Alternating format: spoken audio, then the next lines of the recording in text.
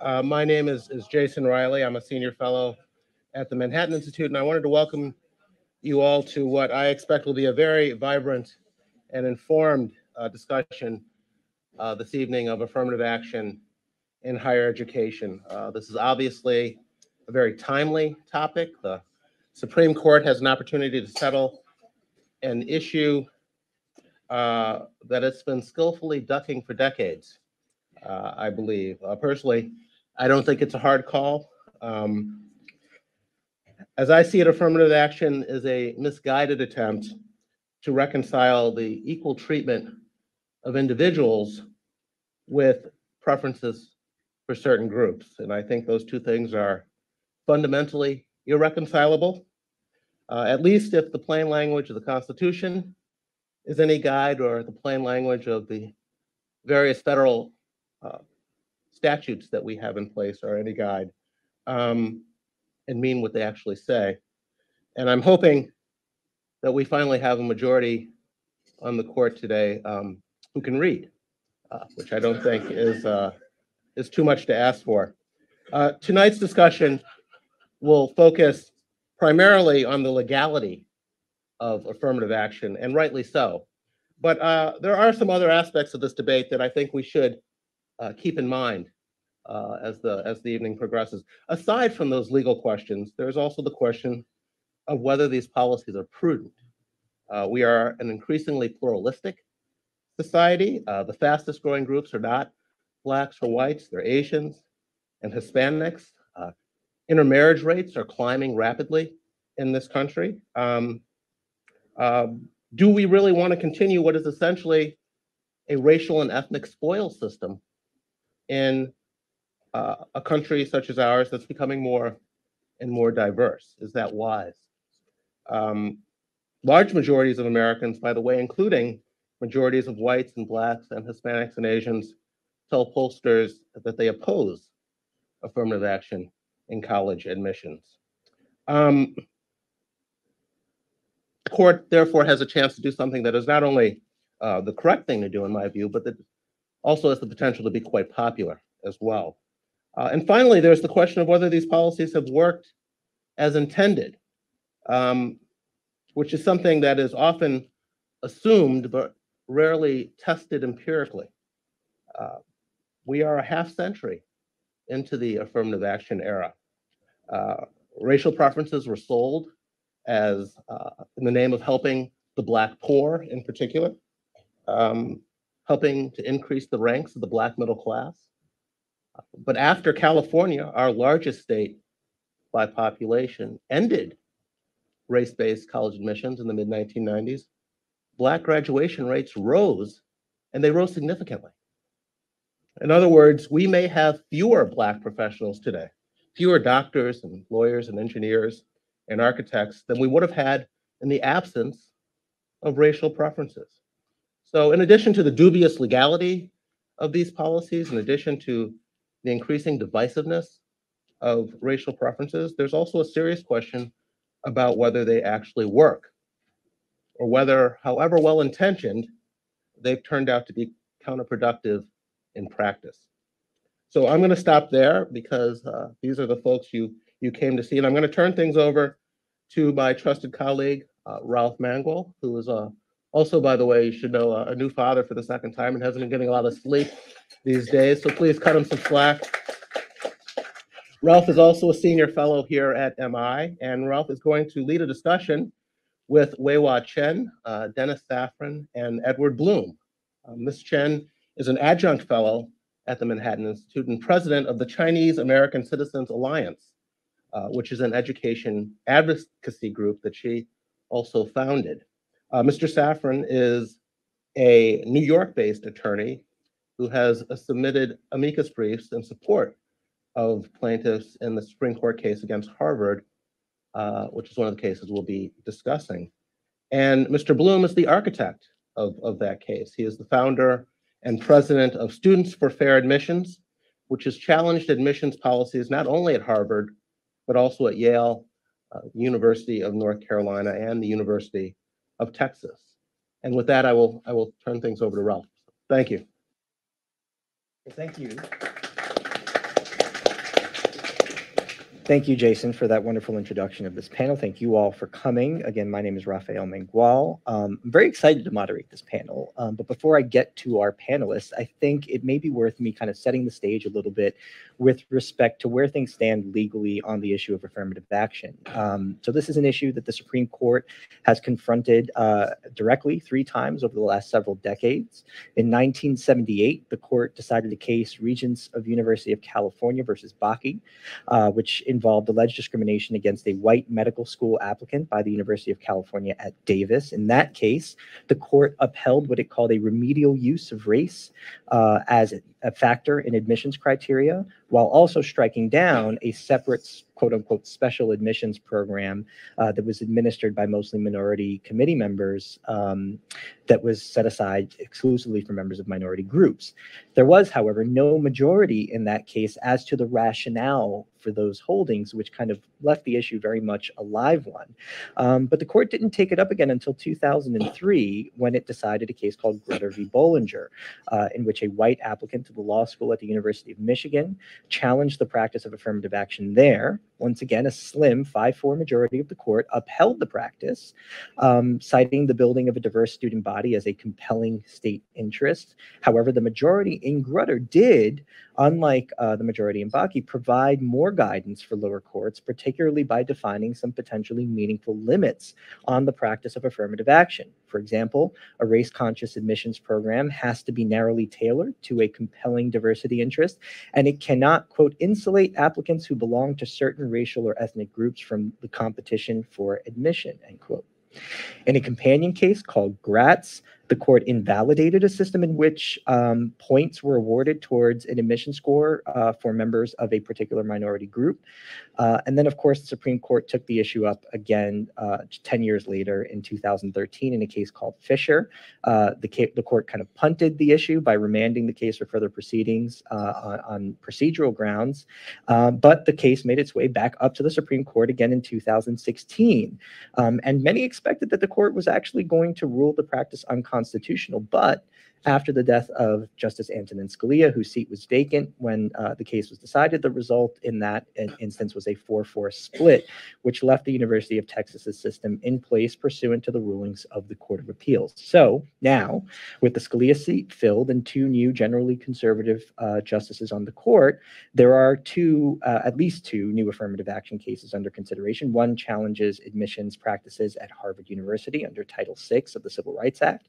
The other challenges admissions practices at the University of North Carolina. Those cases were brought by a group called Students for Fair Admissions and is headed up by Mr. Blum, to whom I'd like to direct the first question, which is, can you just tell us a little bit about what makes these two cases different from Bakke and Grutter slash Gratz? And, you know, what, what are some of the important distinctions we should be keeping an eye of? How, what made you bring these cases? How did they come about? What's, you know, uh, what's what's kind of going on here for for people who maybe aren't familiar with the issue so let me, I promise not to take you into the bones in the ground like a Michener novel.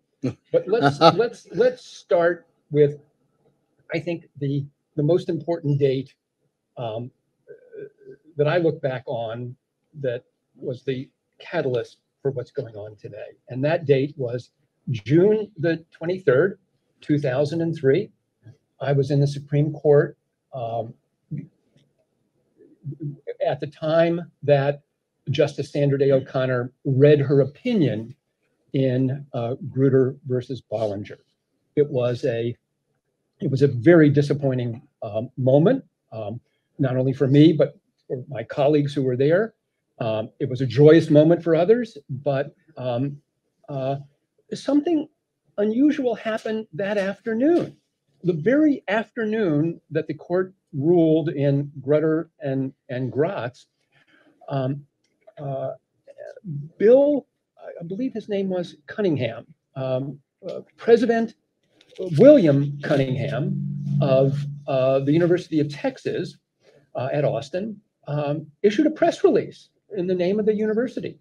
And that press release stated that going forward, the University of Texas would now reintroduce, not reintroduce, the use of race and ethnicity as a factor in the University of Texas's admissions policies. whoa, wait a minute. Now, how did that happen? Why were they, why were they not using affirmative action? Well, a case out of the Fifth Circuit called Hopwood versus Texas back in the 1990s uh, forbid the University of Texas from using race in their undergraduate admissions policies. So here we've got one circuit that has forbidden the use of race and ethnicity in, in college admissions.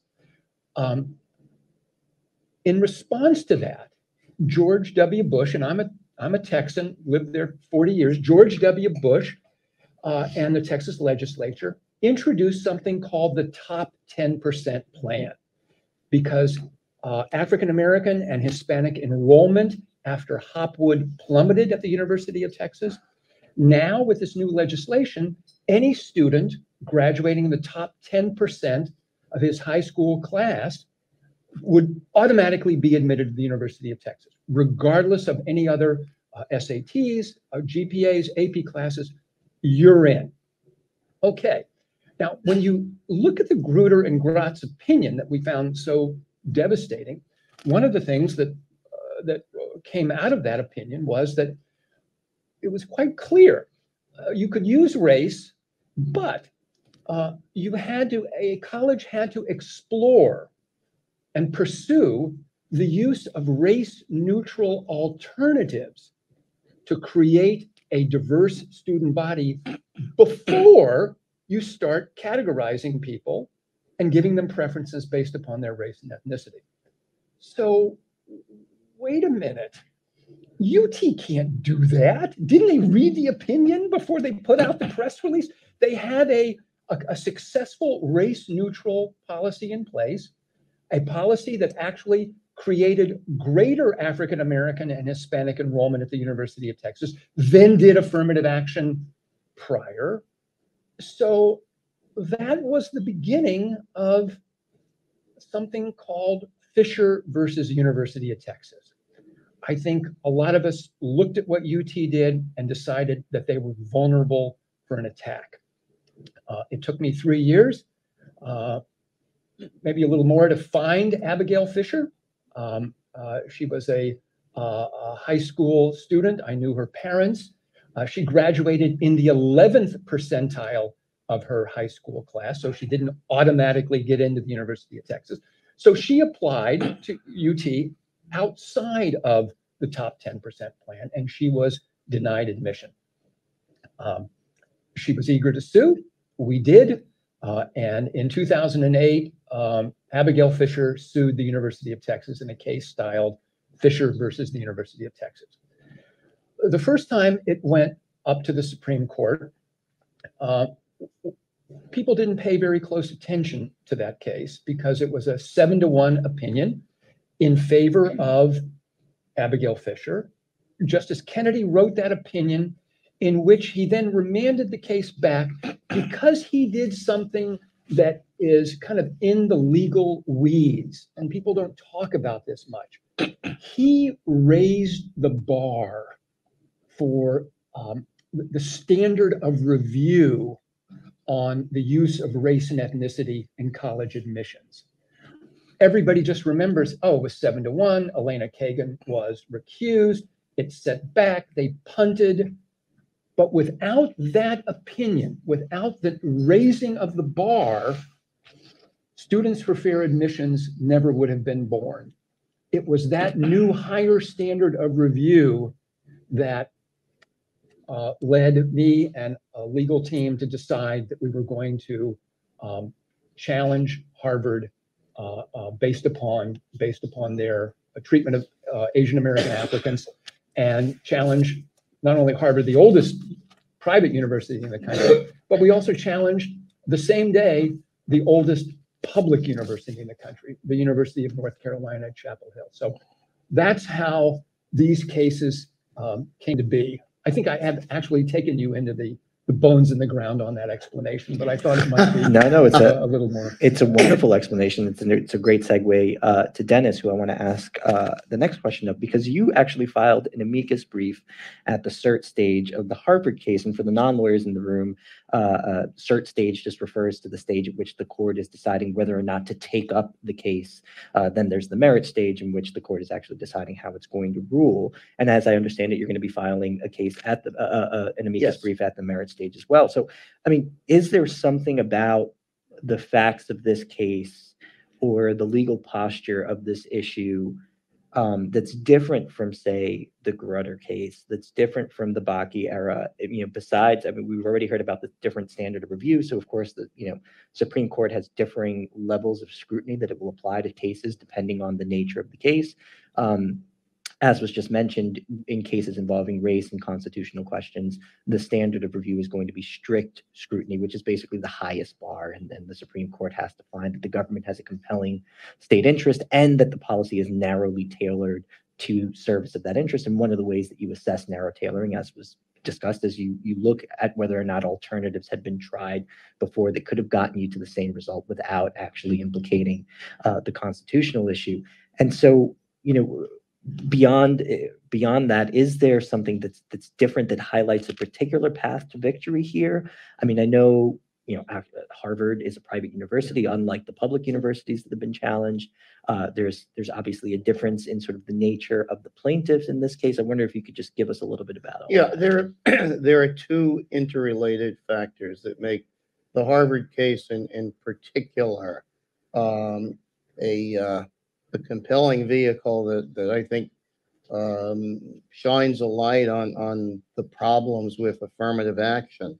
Um, and I've, the cases are now consolidated and I put in briefs for the National Asso- Association of Scholars at both, in both the UNC Got it. and Harvard cases. Um, and now it'll be one brief on both cases. But what the Harvard case in particular highlights is, um, first of all, that it focuses on discrimination, not just against the white majority, you know, sort of reverse discrimination, but against Asian Americans. And there are um, studies um, at both Harvard um, that came out in this case and at other elite colleges that show shockingly that uh, up to 80% of the set asides for racial preferences for so-called underrepresented minorities actually come not from the white majority, but from another historically marginalized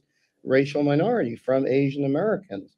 Um, now, you ask, how could that be? Because whites are obviously still the majority of applicants, even at, even at these very top schools that have lots of Asian applicants. Um, and there's no reason to think that Asians cluster toward the bottom of the applicant pool. Indeed, all the evidence shows just the reverse, that, you know, even at a place like, like Harvard, Stanford, they cluster toward the top. So you would expect at the very least that, that whites would suffer a um, a proportionate burden. Um, and yet the evidence indicates that they don't, that most of this comes uh, for up to four out of five spaces that are lost come from Asian Americans. Um, what suggests itself ironically is that you could have um, so-called implicit um, bias going on here. That's a big theory on on the left. It's it's often a bogus theory, but insofar as it has some kernel of truth, um, there does seem to be something going on in admissions offices where when it has to be decided who's going to give up their seat in the name of racial diversity, that admissions officers are falling back on the old stereotypes of, of Asians as, you know, bland, boring, test robots, uh, et cetera, et cetera. Now, before we had a, a multicultural society, there may have been other biases going on. I'm sure there were that were more class-based, that we always knew that affirmative action um, hurt not the affluent whites, not the Kennedys, but the working class whites. Uh, but now we have a very achievement-oriented minority that has, um, that has these negative stereotypes. And the most likely hypothesis of why you have this, this very striking result is that there is implicit bias, uh, against Asians that's being tapped.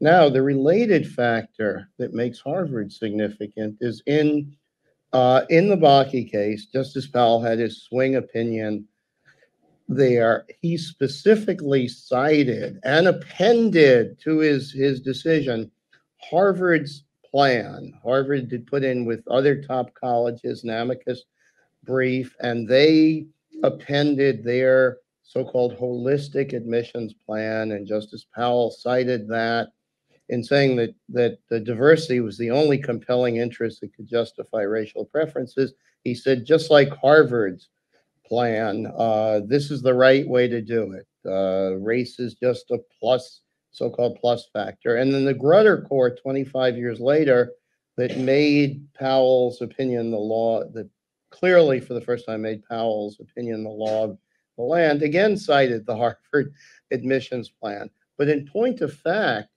that admissions plan, um, Harvard went over to holistic admissions in the 1920s, uh, and it did so expressly to exclude Jews uh, who were stereotyped in much the same way as Asian Americans are today, as as a you know grubby, overachieving uh, minority that got too big, too big for their britches and had achieved too much under the old academic standards.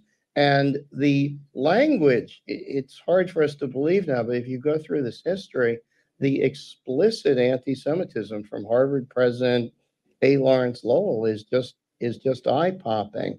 And he was quite honest that the uh, he was going over to subjective standards focused not so much on academic uh, achievement and tests as on character and leadership. He was doing it because it was the only way he knew to exclude Jews. So the whole premise for affirmative action in Bakke and Grutter was was really based on a lie, and so and a, on a lie that now um, punishes Asian Americans in the same way it once punished Jews. So that's what makes this case a you know a particular vehicle for challenging affirmative action. Yeah, I mean, I, when I was looking at some of the uh, uh, amicus briefs in the case and, and some of the evidence that had been brought to light about just how much better Asian Americans had to perform on standardized exams to have the same chance of admission as you know, one of their uh, uh, uh, counterparts from a preferred minority group, um, it was really, really uh, astounding to me. And it it seemed to be like Harvard in particular was relying heavily on this sort of personality score part of the assessment. And I think that does really lean into this idea of implicit bias being at play. Um, and, and so, wait, at a moment in which authorities here in New York City have upended admissions practices for specialized high schools, in which um, uh, gifted and talented programs have been uh, under close scrutiny, all because of alleged overrepresentation of Asian Americans, uh, you know, compared to their part of the city population. You also have uh, hate crimes against the Asian community uh, on the rise. I mean, what when you hear some of this evidence, when you see what comes out of these cases, I mean, what what is the perception that's being fed in the Asian American community? I mean, to what degree um, do we get to a point at which you can't help but feel embattled because you know just outstanding achievement has has been sort of the norm in a lot of ways and then the the, the sort of goalposts keep getting moved and moved and moved I, I agree with you completely here that there's a problem. And, and I have to thank also the members over here, especially Edward, for all of his work here and you with your amicus briefs too. There's been a lot of work by a lot of people who have cared deeply about the cri- critical, critical problems that we address as face as a nation. Um, and you t- use a couple of terms. It's not implicit bias, okay? right It's explicit bias. And, and. I when- wanted to be nice. and, and when we talk about uh, overrepresented and underrepresented, a kid comes in and he doesn't represent all of these other kids. You know, they're not like, I'm representing all of the white kids. Uh, uh, When this kid goes and gets a job, he's going to get it for himself and maybe his family, but he's not representing, he's not going to share it back with everybody. I mean, you know, in a general way, we do want him to do that. But, so I think this notion of overrepresenting, you know, when you say that somebody is underrepresented group, then that implies that somebody's over. And that's already wrong to say, because nobody's overrepresented. You are going to be represented by your merit, by your achievement, your abilities. And that's something that we have to remember. That is the most important thing. When we start judging people by something that they really can't control, uh, something like race, uh, that is something that will hurt everybody in society.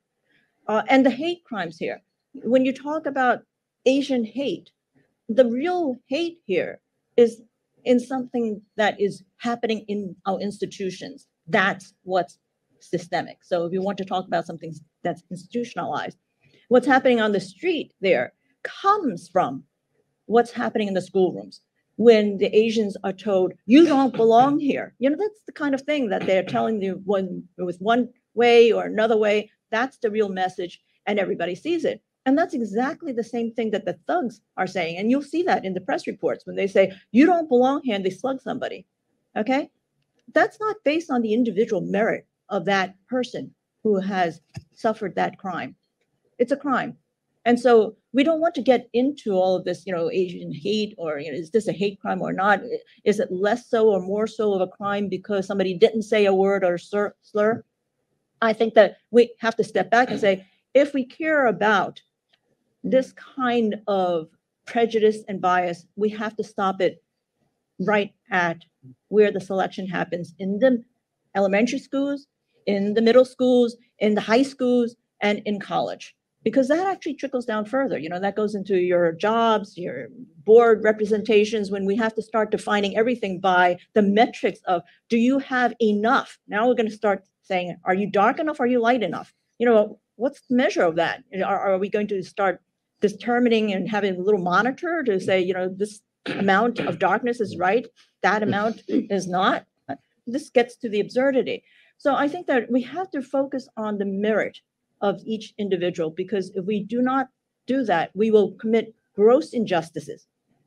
And as a society, when you judge as a group, when you have social justice, you do not have justice. Because this kind of group um, eh, ostracization or uh, rewards, you cannot be judged or positively or negatively based on that. And that is what this battle is about.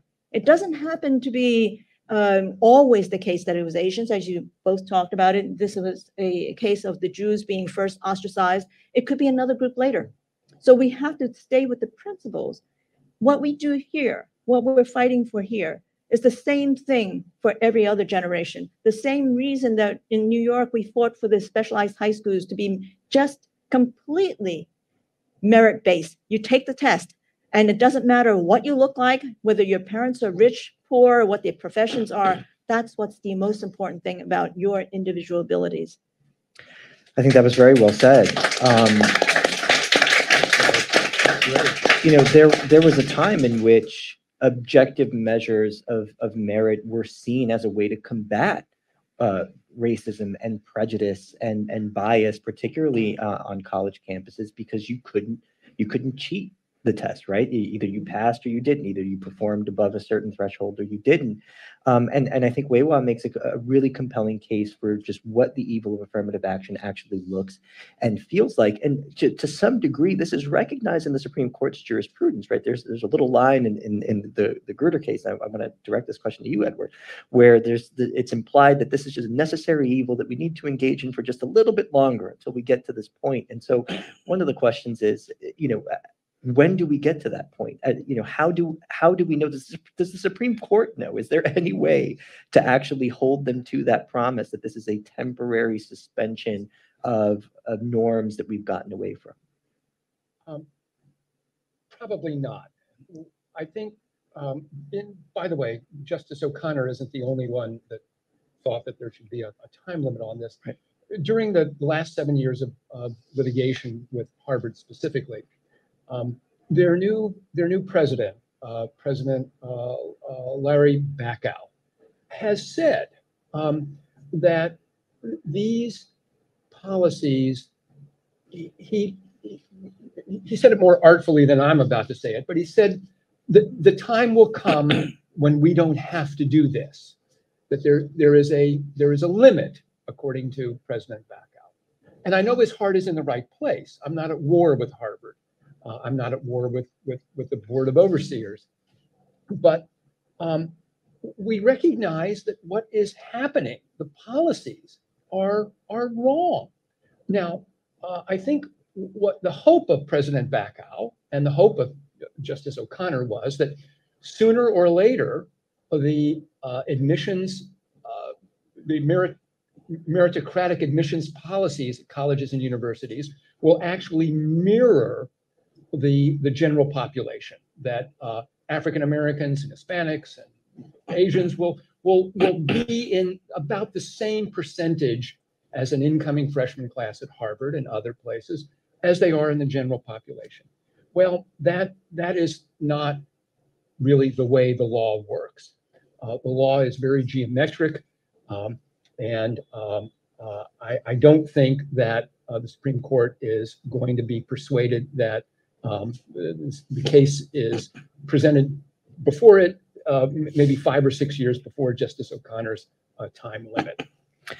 That's uh, you, you, you you raise a really interesting point because there's this idea implicit in the way that these admissions programs are set up that there is something meaningful to group identity based on race or ethnicity. And if you take the the idea of, of group identity seriously, and this is a point that, that Glenn Loury has made, I think, really, really well, then it naturally follows from that that groups are going to have different uh, interests, different uh, mores, and that is going to manifest itself in different outcomes. And you know, uh, uh, I want to ask you that. I mean, is do you think that that's that that's right? Ha- ha- Have they sort of failed? Have the proponents of affirmative action kind of failed to follow the logic of this idea that there is something meaningful to group identity that makes life for other students on campus differently? And and, and is that idea wrong? Is is the day-to-day life of the average college student genuinely and truly enriched simply by having someone living on their dorm room floor who's of group X?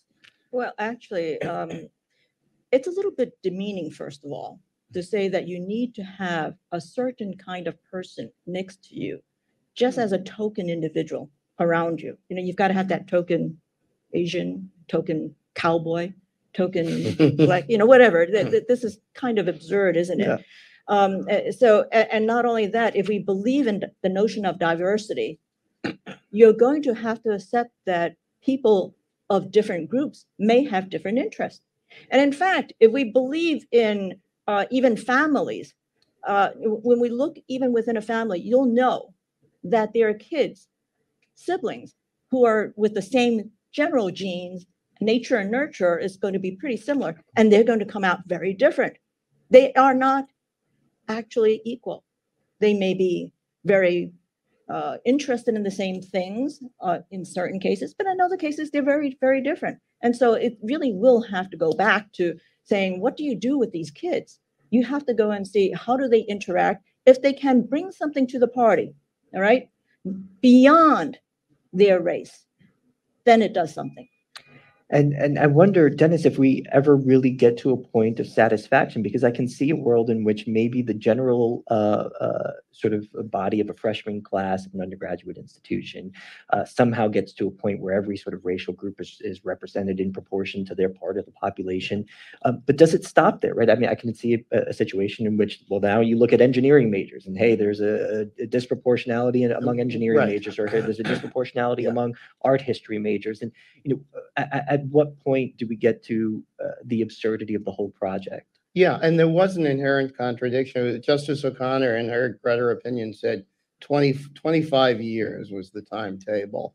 Uh, but We're coming up on that. given, we are six years away. Um, but given that way back in, in Bakke, they had, and, and this should be stressed, a lot of people don't realize because we still fight about affirmative action for redressing, you know, past discrimination.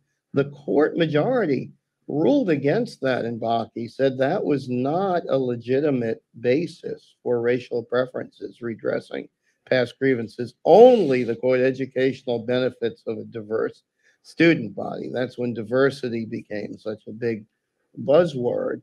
Um, but then if if it's diversity, um, rather than redressing past grievances, that's your goal. Why do we ever get to that? Um, although, as, as Edward said, citing Bacow, in theory, um, you could get to a point where you have exact, you know, Harvard's admissions happen to exactly reflect the population, but they never, they never have. It'd be interesting, though. I can't find studies of this to see, you know, what's the proportion of Italian Americans uh, at Harvard versus in the population. Um, and then even if we could find it's all exactly equal, as Ralph said, then we'd start talking about the uh, the engineering majors. Um, and I think O'Connor almost mid-sentence recognized that uh, distinction. If you read her actual sentence, she kind of stops and says, "We think there'll be a uh, an endpoint in 25 years when this will no longer be necessary to um, sustain the compelling interest we uphold today."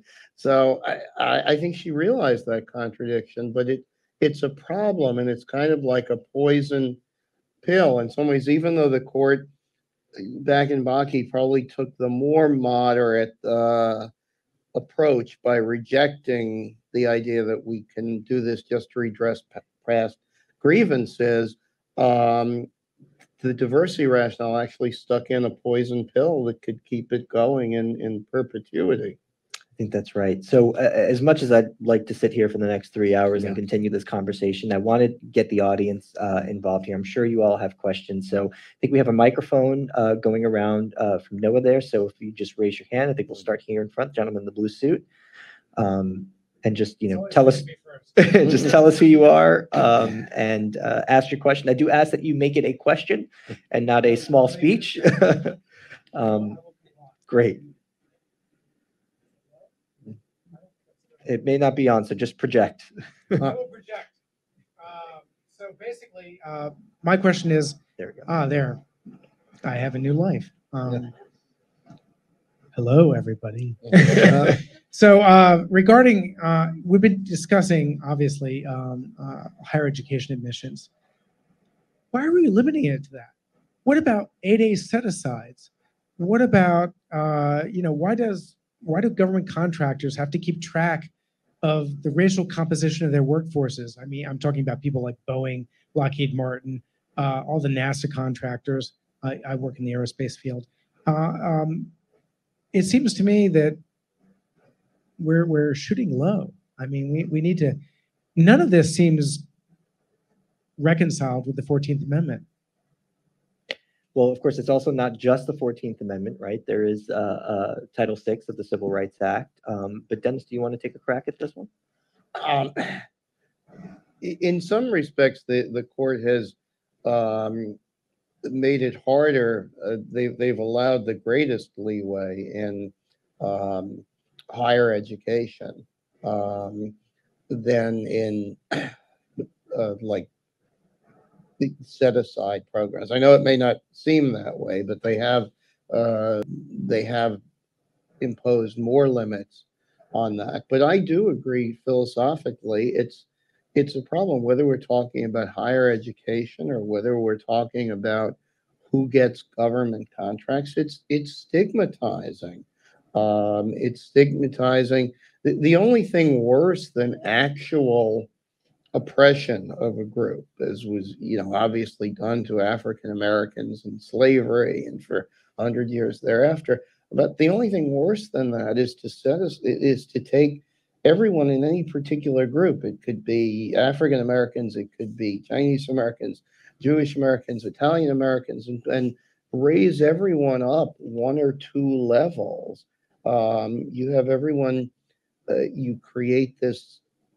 We all have an imposter syndrome, but if you're if you know you've been raised up two levels, think about how much worse that imposter syndrome is. And then you wind up compensating for that by becoming even more militant. Um, I, I think it's terrible to, to the group itself. Um, and, you know, as, as Jason said, it's not, probably not doing any good, certainly in higher education for various reasons. We find that in California, the black graduation rate went up after racial preferences were banned. So I'm not sure if that answers your question, but, but philosophically, I certainly think we've got to move out of the whole racial preferences across the board. Anything anyone else wants to add before moving on? I'll- I'll just add something very short. It, it is, it is my hope, and I think it's been discussed within kind of the conservative legal community, that this case is going to be um, something more than just about admissions. That uh, the court has the opportunity here to give a roadmap for future litigation within employment, within contracting, within um, kind of whole reparations, um, um, diversity um, driven uh, decision making in the private sector and the public sector. So I'm hopeful that not only will we end the use of race and ethnicity in college admissions, but uh, the, the, court will will kind of shine a light on on where uh, uh, litigation should go to narrow what you've just described. I'd like to say just quickly here that uh, when we look at the uh, injustices you, you talked about, you know, 100 years ago, what happened there, we have to be very careful about appropriating other people's grievances. So I think that if you take other people's ancestors' grievances and say that they apply to me, that's actually robbing somebody else's actual grievances. So we have to stand on what's happening here, and that comes to the merit. The other thing is that I want people to understand also for some of you who have not heard of the Chinese Exclusion Act, a lot of people mention it because they say, oh, here's the awful thing that happened. Okay, it, it was not a good thing that happened, but there are a couple of things that a lot of people don't see. One is that it happened because of somewhat similar things that are happening now. It's because the Chinese worked too well Okay, the Chinese Exclusion Act happened because they did such good work. They uh, depressed the, the wages. And that actually is somewhat similar to some of the things that are happening now on the exclusion side. And so we should look at it from that perspective and say that we don't want that to be the driving factor because it changes everything from merit and hurts the entire global economy. And history does tend to repeat itself, Mr. Gilman.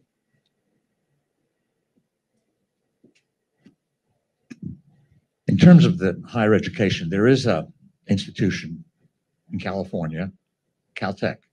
That uses no racial or other classification or pluses. Has that come to play in any of the amicus arguments put forth? Is the court going to consider the results there, which obviously has a higher proportion of Asians than any of the other elite non-California institutions? by by far it does. There is a tremendous chart, a- and, there's an article that really sort of um, launched this whole movement that was done by Ron Unz, who you know has has since developed a kind of mixed reputation, but a very very bright guy. Wrote a long. Uh, we'll leave it at that.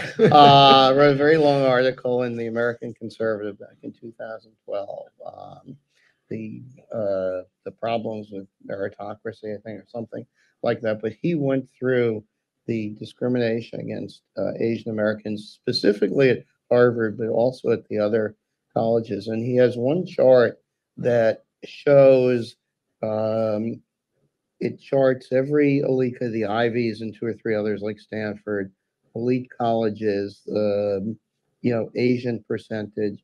Uh, then another line is the increase in uh, the percentage of the youth cohort uh, that was Asian, given that you have the immigration reform of 1965. And then there's Caltech. So the Caltech line moves up uh, basically in tandem with the Asian population to where it gets to 42% at, at in 2010, which was the end of uh, data period. Um, the others look like um, one of those either electrical charts or nerve charts where all the all the strands come together in a coil. Uh, what antitrust lawyers call conscious parallelism. There hasn't been a there's not an antitrust claim in this case, but it's amazing to see you know, Harvard and Stanford and U, U Chicago and Duke and Columbia, they all come together at about 16%, um, just year after year after year. So there's a very clear uh, difference at Caltech. And, and the fact that they come together at sixteen percent is al- Yeah. also risks, uh, uh, looking a lot like a quota. Exactly. I'll- exactly, I'll, I'll just yeah. add one, one, a couple of sort of data points. Uh, 1993, 1993, Harvard uh, Asian admission uh, percentages about 20%. Uh, 10 years later, it had dropped to um, about 16.4%. 10 years after that, um, the year that Students for Fair Admissions sued Harvard, the, the admissions rate was still about 17%. So over a 20-year period in which, as Dennis mentioned, Asian American uh, uh, uh, application rates have gone up dramatically. Um, uh, the, the, it- the, the admissions rate at Harvard has been flatlined. Since we filed this lawsuit, however, over the last seven years, seven years, uh, Harvard's uh, Asian American uh, uh, admission rates are now uh, up to 29%. Over a seven-year period, over a seven-year period, uh, they have gone up 60%. Now, to me, well, I'm, I'm glad, but what does that tell us about what Harvard has been doing for the prior 20 years? And why now? Don't you think the justices are going to look at this and go, wait a minute, you're filling in a pothole after people have fallen in and broken their ankles. You can't do that, Harvard. And Edward, you should also mention what led to that smaller uptick back 30 years ago and, and, uh, right before 1993. Well, that was a, that was a, uh, an investigation um, by the Office of Civil Rights at the Department of Education into uh, Harvard's treatment of Asian Americans as- as well. So lots of And then it went up, interesting and data. The case was, when that case was closed by the Bush, it was in the Reagan administration, it was closed in the Bush one administration. And that's when suddenly it goes back down and flatlines. We have a question from this young woman in black right here. Uh, keep going. Uh, Yep, stand up back there. Blonde highlights, I think. Yep. Okay. There we go. Hi. Um, I'm not a lawyer, so if this sounds like a very naive question, please move on. But I need, I don't understand how it is that the Supreme Court can tell a private bakery that they have to bake a cake for whoever they want and they can't discriminate against a client, but yet in, you know, institutions of learning can. How is that possible? So like from a legal perspective, like how, Uh. how does the court see those things as different? Because I don't, I don't understand. So I'll, I'll take a, a- just a quick crack just to set uh, one of the other uh, uh, lawyers on the panel uh, up here, but I think it has a little something to do with federal dollars and, and state action.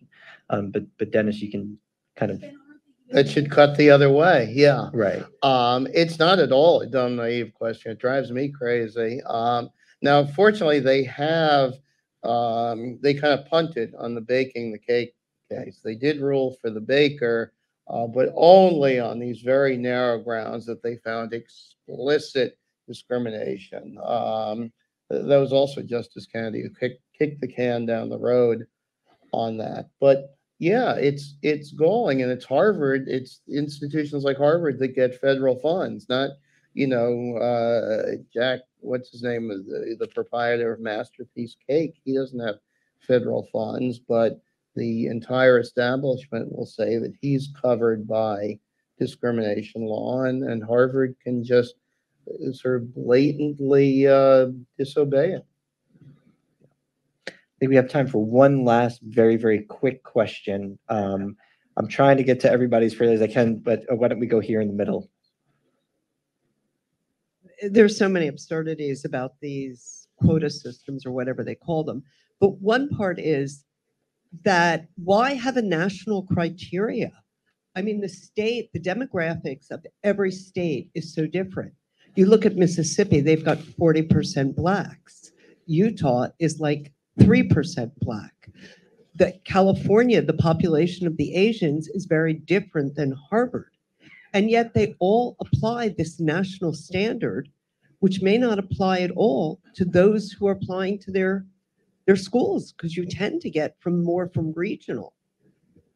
I, I suppose that's probably truer for lower tier schools than it might be for, for the really elite institutions that attract a lot of attention from people around the country, regardless of, of, of where they are. But I wonder if anyone else on the panel has uh, something they might want to add to that, which actually brings up a pretty interesting question because when you have kind of an affirmative action uh, regime, what ends up happening, I think, and, and you all can tell me if I'm wrong here, but uh, sort of uh, for lack of a better word, less, uh, lower scoring applicants will kind of get picked up by the more elite schools, which leaves the sort of middle ground schools with much less of an applicant pool um, uh, to pick from. And so you tend to see much wider disparities, I would suspect, say in the University of Michigan case, than you would uh, perhaps at Harvard uh, between the average uh, Black admin and the average Asian admin. I don't have anything to add to that.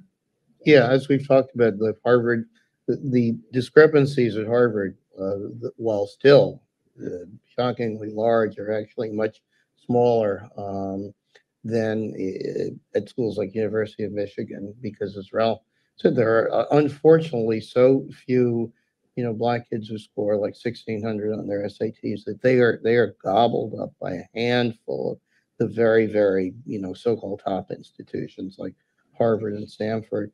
And then the very worst problems are, are at those still selective prestigious institutions just under the top level, places like maybe Michigan, Notre Dame, because Asian Americans are just the reverse. There's so many with 1600 SATs that, you know, places, and I don't have the actual data at hand, but um, places like Notre Dame are probably chock full of, you know, Asian American kids with 1600 SATs. But by the time you get there, the African American uh, student body there is, is going to be much lower. So that's where the, the most glaring discrepancies are.